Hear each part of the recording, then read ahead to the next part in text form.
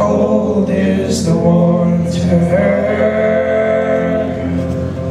It freezes your already cold mind, already cold, cold mind.